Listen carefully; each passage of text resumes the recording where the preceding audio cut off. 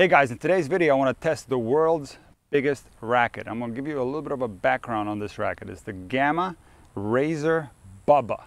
And this racket comes in at 137 square inches and at 29 inches of length, which makes it the largest racket in the world. And guys, take a look, just to give you a comparison.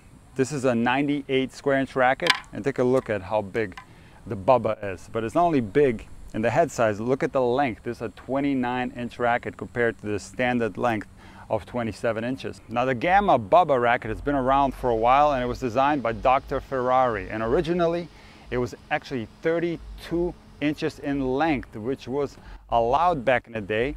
But the racket was so powerful, which made the ITF change the rule to 29 inches. So 29 inches is the maximum allowed length for a tennis racket.